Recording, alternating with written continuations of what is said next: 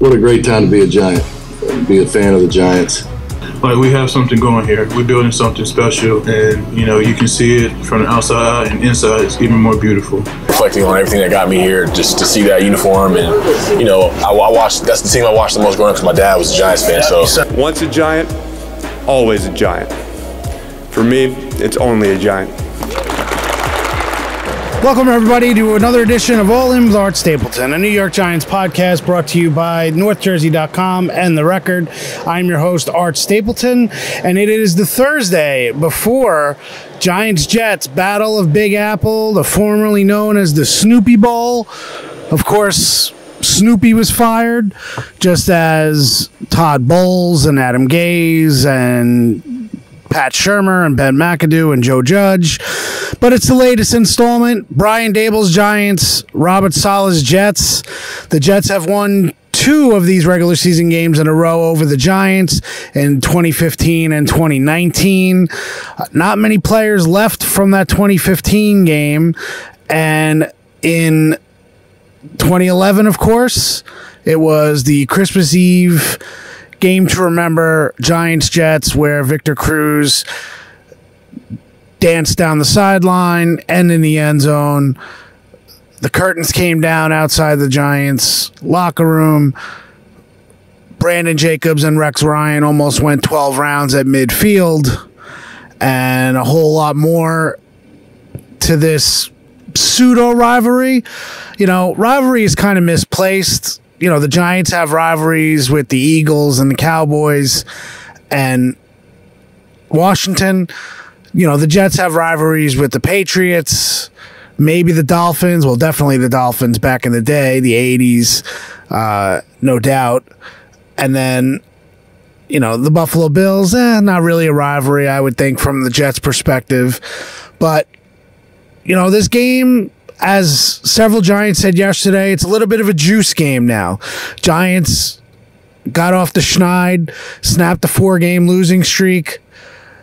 Now they take aim at their co-tenants in MetLife Stadium. The Jets, three and three, they soared into their bye week by upsetting the Eagles. And, you know, if you're a Giants fan or you're someone who follows the Giants, you need to give the Jets a lot of respect for upsetting the Eagles the way they did. And not because the Eagles lost the game, because the Eagles last year lost to Washington at home and then they ended up making it all the way to the Super Bowl, and we know how that game ended. Kadarius Toney and the Kansas City Chiefs beating James Bradberry and the Eagles in the big game. Obviously, it was Patrick Mahomes and Andy Reid, but you know what? KT played his role, so give him credit. Uh, Got to know your audience sometimes, and my audience is Giants fans, so I know what you guys are thinking, and I know what you were watching last year when it was the Chiefs and the Eagles. It was basically go big red uh, for most, if not all, Giants fans. So, what is this game all about? Well, you know, look, both offenses are going to be. Uh, waiting for a big play. I, I don't know necessarily if they're going to be able to grind it out against these two defenses. But we'll break down the game a little bit. But I wanted to get to our interviews today. Saquon Barkley and Tae Banks was with a little bit of a group for Saquon Barkley, but I thought the interview was good enough where it was worth putting on the pod today. And then I was one on one with Deonte Banks, talked to him about his first career interception. If you haven't seen the video, he threw the ball into the stands, knowing where his mom was going to be uh, for a souvenir. Uh, he has seen Garrett Wilson before back in the spring when asked who the toughest wide receiver he faced in college was. He said Garrett Wilson, not Marvin Harrison Jr., both of the Ohio State stars. But we'll get into that a little bit. Talk to Tae about where he's at as a player. Has he always been the guy who loves to compete? I think you'll enjoy some of the answers from him. But first up, let's go to Saquon Barkley. You know, Breece Hall being on the other side, it's got to be a little juice for Saquon. In that 2019 meeting, Saquon ended up having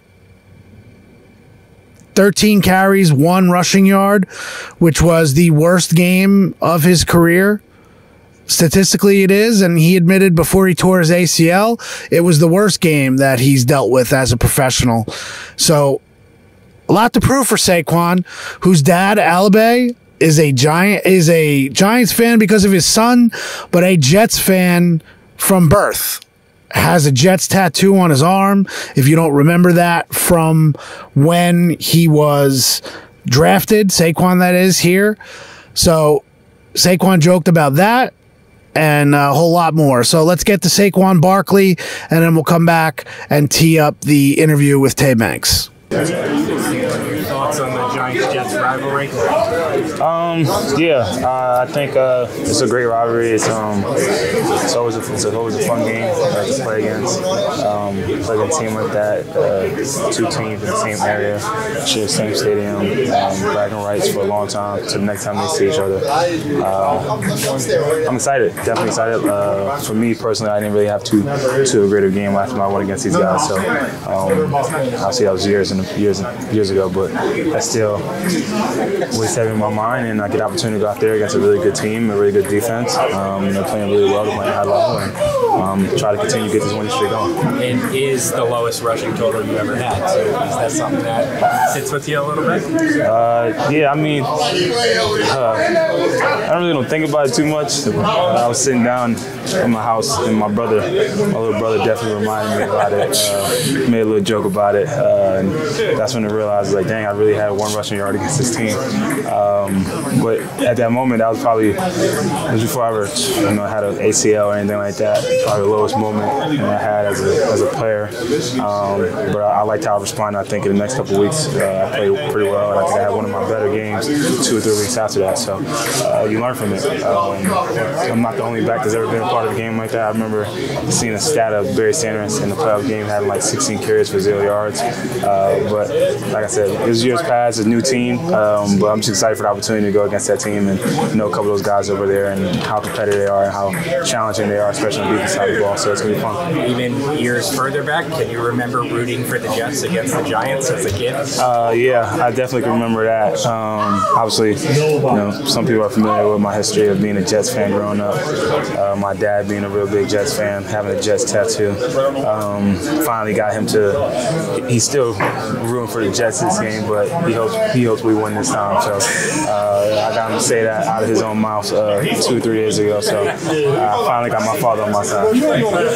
Do you, when you, you've had plenty of games where the running back on the other team has gotten accolades as well. I mean, I think of your battles with, with Zeke and Dallas, and we always talked about, you know, I know you're not going against Breece Hall, but I'm sure you have respect for him as a player. Does that ramp it up anymore for you, knowing that another running back on the field is going to get a lot of attention? Yeah, I mean, you never, you're not technically going against the other running back. You know, I'm not on defense. He's not on defense. I can't stop him. He can't stop me. But anytime you're going against a running back of that caliber, obviously, uh, yes, it, it increases a little more the competitive nature.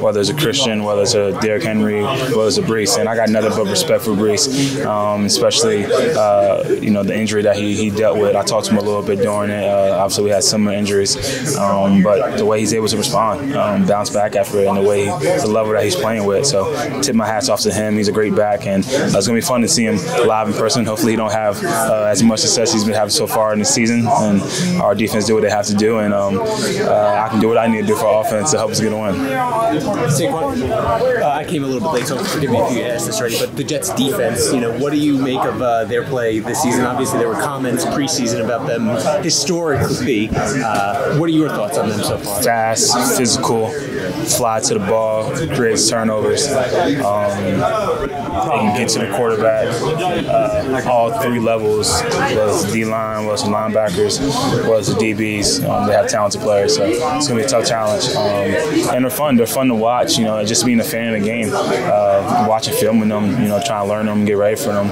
and seeing the way that they play. You, you got to admire. You got to have respect for uh, what, what they're doing over there. So it's gonna be fun. It's gonna be a challenge, and as competitors, it's the type of game you want to be a part of. It's when we were kids, I, I would assume that rivalries were, I hate these guys, blah. blah blah. Is it now all about winning?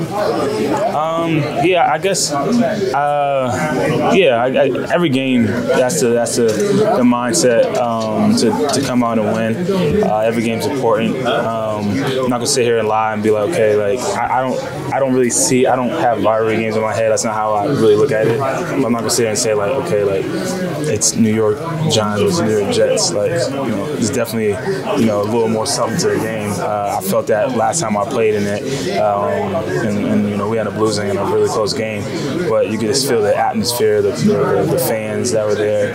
Um, but yeah, at the end of the day, all you want to do is win, and that's our goal. We want to come out here and, and do what we can, uh, compete at a high level, and come out with a win. It's gonna be a tough challenge because they're a really good team over there. A week ago, you guys were still confident that you could turn this season into what you wanted it to, but you still needed that first one. You got that first one now, that first win after the streak. Does it feel any differently in this locker room right now that you guys are ready to turn a corner? I mean, I don't think it's we're not in here like oh we're five and two. We still understand that we're two and five, and we got a long way to go. But I don't think it, we needed the win last week. Uh, I, I, think I kind of sat here and said that a game like Buffalo, we feel like we should have won that game. Unfortunately, we came out we didn't win that game. But games like that, uh, going against a really good team in a tough environment, um, can help build a confidence, can help be that spark. And I feel like that's what it was.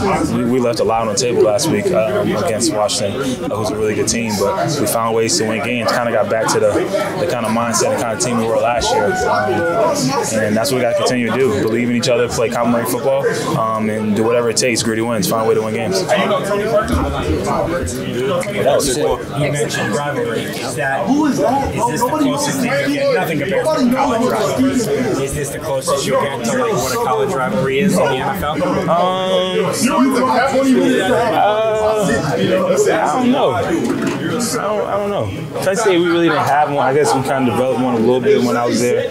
Well, Ohio State, um, Pittsburgh claims they are, I guess. Uh, but um, I don't know. I, I, really don't really don't feel it out. I, I can't use an example whether at college. I can tell you the divisional games we play in, whether it's Washington, whether it's Dallas, or whether it's Philly, uh, ups up a little bit. And I can tell you, being part of playoff games, how, how much the level increases um, and the speed increases. So uh, I expect that to happen this week. Uh, just already, just off the matter of fact of how good they are and how fast they play over there on the defense side of the ball. Um, so it's gonna be fun. It's gonna be a fun opportunity. We got to go out there and, and be ready because they're gonna give us the best. The open field touchdown last week. How good did that feel? Just show you broke the tackle, you come back across the field, just to show like you, you have all your abilities back after the injury. Oh yeah, I'm not. I, I know that's all there. Um, I think if you, you go watch film, go go watch it, everything is, all still there. Um, it's still high ankle, you know, it's still challenging, but um, you know, I, I felt really comfortable in the game. If you watch like you know some of my runs, they only might have went for four or five yards, but I felt like I was shifty. I was able to make the cuts that needed to be made, set up the lineman a little bit. Um, so I'm excited. Uh, just keep stacking it, keep building off it, um, keep rehabbing it, um, get better each week. So there's Saquon Barkley, and like I asked him, if you heard me ask my question about Breece Hall, you know, there's got to be a little bit of a competitive edge for Saquon Barkley going into this weekend. Uh, you know, a lot of talk about Breece Hall and being the home run hitter. And, you know, he's kind of what Saquon Barkley was uh, early on in his career. Now, not that Saquon's a 10 year vet, uh, but I think there's a little chip this weekend going in for Saquon to be able to kind of remind people now this is not going to be an easy defense to run against, clearly, with the Jets. But uh, I think Saquon's going to come out with a little chip this weekend. So remains to be seen uh, how that goes down. Uh, so now let's get over to the rookie corner. Tae Banks was at his locker, talked to him on Wednesday, uh, then decided to do our interview today. Uh, so again, I've been most impressed by the way Banks is able to go from play to play. You know, Wink Martindale joked this summer that, you know, he's like Ted Lasso with the goldfish, the idea of a goldfish memory, uh, where you can just forget about one play and move on to the next. So in our interview, you'll hear me ask Tae about, you know, has he always been that way? And he admitted he, he hasn't always been that way. You know, back when early on in his career in 2019 in college when Ohio State wiped the floor with Maryland.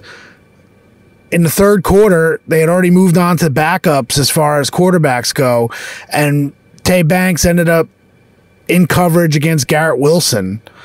And Garrett Wilson scored a 14 yard touchdown pass that Tae has not forgotten. And, you know, it's interesting to see him kind of use that as a backdrop and say he's a much better player now and the reasons why. So, uh, one of the better players right now for the Giants is, is Tae Banks and the way he's playing, and he's gone against the gauntlet of receivers in this league right now. He manned up against DK Metcalf, uh, held his own in Miami against those guys. Uh, saw the guys on, on opening night against Dallas, and then obviously last week Terry McLaurin and went back and forth with him, trading punch for punch, not literally but figuratively, and then had a huge tackle before the blocked field goal, and then had great coverage on McLaurin on third down that set up the fourth down play by Jason Pinnock and the incomplete pass uh, from Sam Howell. Uh, to Jahan Dotson at the goal line that ended up sealing the win for the Giants. So let's get to Tae Banks and uh, I'll be back with my final thoughts after the interview. I saw the video after the interception of you chucking the ball into the stands to your mom. Yeah. First off, did you know she was up there? Yes, I did. I did. So what? Uh, in that moment, what made you decide to look for her and put it up there? Were you worried that someone else was going to end up with it? Nah, I really wasn't, cause like, like she was with my father and she was with like a couple of my people that I'd be with, so it was gonna make sure she got the ball. And uh, like, I don't know, I just want to give it to her. It was my first one. How do you rate your arm? Oh, uh, nine out of ten. Cause I missed one row. Like I, I, I was, I threw it up there, but like I threw it to the row right in front of them. So nine out of ten. Let, let's talk about that play a little bit. Um, you know, I know you guys have really been mixing in a lot of different coverages over the last couple weeks. How much more comfortable are you in what Wink is asking you guys to do on the back end? I mean, we see you, you know, when you're man up, pressing the guy at the line, it, it's one thing, but in that playing in space in that role, how, how comfortable were you in that, and how sweet did it feel to make I'm, that I'm, play? I'm, always, I'm comfortable playing anything, but I just like it's just personally I like playing like a man. Like just it's just like my mindset. But I'm comfortable playing anything, and I feel real comfortable playing. when when a couple of the guys were getting on you a little bit and finally saying that you finally got that over um, was that a play that you guys have been working on talking about Um, it was really in practice, and they they really never throw that. Like I never get it. Like I used to even get them kind of routes in college, and I never got it. You feel me? I never got like the, the real three over. I never got the ball thrown. So I'm when I really seen it thrown, I'm like, he really threw it. Cause like I don't never get it. Like I never get it. It's a great time to go get you one. Like it's a great time to go get you one. So and when I- you when you were kind of in you were in a zone right in Yeah. that situation Yeah. so I mean in that situation you're not expecting them to come into your zone into your No, area? like it's it's not that I'm not expecting it, but they don't never throw it. Like I already, I, I didn't have that route concept, but a, a few times, especially when they go trade tight end, tight end, not tight end, tight to the he tight to the core, and they got three receivers out and three runs are over. It's kind of like they, they kind of like that's a it's a known you feel me type concept. So Yep. and they I really I rarely ever get the ball thrown in it. So when I seen, it, I'm like, oh yeah, this mine's.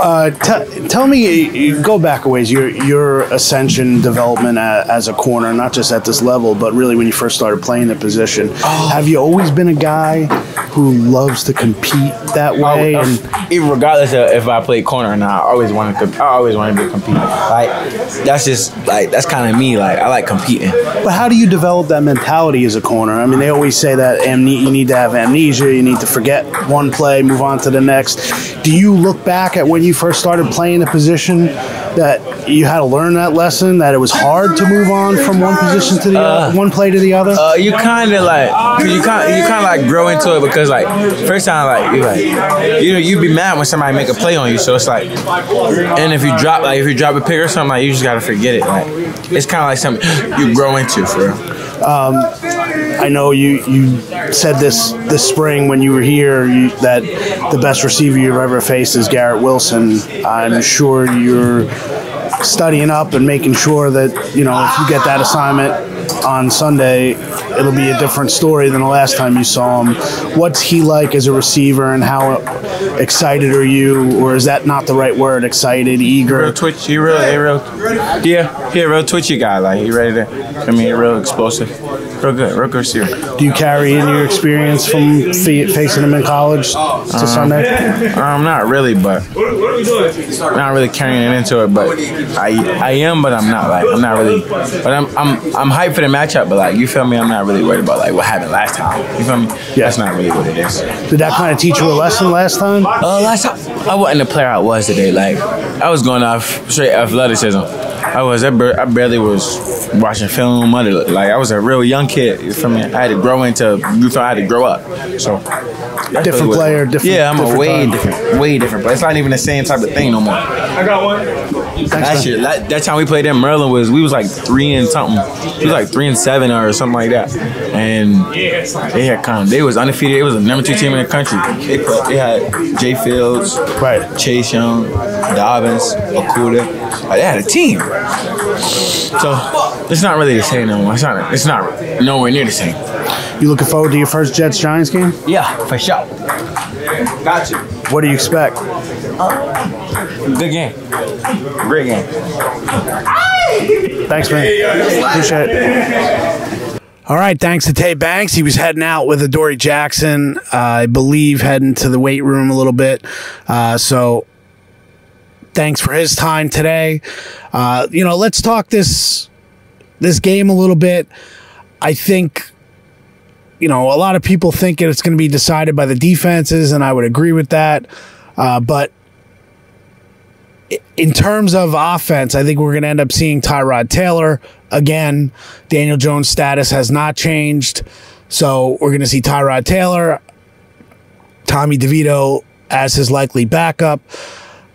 It's the last practice squad elevation for DeVito. So if they're going to have to use him on game day again uh, in uniform, they will have to, after this week, sign him to the 53 man roster. So that's something to keep an eye on. Uh, last time the Giants played the Jets, the Jets kind of embarrassed them.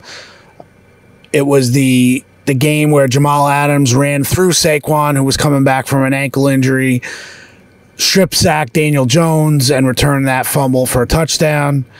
Uh, Sterling Shepard today said, you know, yeah, I remember I, I had a concussion. I was not in that game. Uh, the coaches are different. You know, the only coach that's left on either staff is Thomas McGaughey, I believe.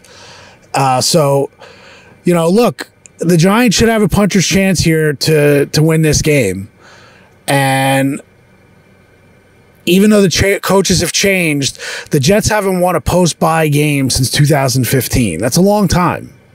I know the coaches changed Todd Bowles, Adam Gase, and now Robert Saleh. But when you acknowledge that, and Saleh did by kind of changing things up a little bit, they've lost the last couple years with Saleh as coach after the bye. It's something to keep an eye on. So can the Giants ride the momentum of last week? Now, it wasn't a clean game for them by any stretch, uh, but I certainly think you can make an argument that you know, if if Sterling Shepard doesn't muff the punt and if Saquon Barkley doesn't fumble inside the 10, you know, Giants probably win that game 24 nothing. I mean, it's probably that's the way it was. Um, it didn't happen that way. And sometimes when you're a then one and five team, now two and five team, you're not able to put teams away. And that's kind of what the Giants experienced last week. So, uh, the big thing for me, I think, is containing Breece Hall. Uh, I think they'll do a pretty good job against Garrett Wilson. I think he's going to get his catches. But uh, Zach Wilson, Giants need Tyrod Taylor to play a clean game again and to outplay Zach Wilson. They need this defense to go after Zach Wilson, uh, and I think they can. It seems like Wink Martindale's got something rolling here right now. Substitution patterns have been good. Guys he's bringing off at the right time are making plays. You know, Jihad Ward comes into sub packages. Uh, Nick McCloud comes in on some sub packages. Trey Hawkins the third is coming in on sub packages. Isaiah Simmons coming in for some sub packages. The Giants have a flow right now that's working, and I think that works to their advantage this weekend. Now, is the season over if they lose this game? No, of course not. but the but at that point, at two and six, now you're looking at a situation where you're going to have to win some games to get back into this uh, and to feel good about yourselves against a team like Dallas. You know, you've got this game and then you've got a game in Vegas against the Raiders. Both are winnable games. Then you have to go down to Dallas. You want to be on a three game winning streak when you get down there. Uh, and look, there is something to be said about bragging rights, and you're going to hear it. When things aren't going well, the last thing you want to hear is your team, your, the other team in the building, in the stadium, and their fans crowing about how good they are and how much better they are than you. I think that's kind of what's at stake. So we'll have our pregame preview show for Sunday morning. Probably get it up on Sunday night, uh, Saturday night, and then obviously we'll have our post game pod after the game, uh, analyzing everything that went down, and then looking ahead to Las Vegas and that game in uh, you know right off the strip. So appreciate you listening as always. We're still all in. We know you're all in too. We'll talk to you over the weekend.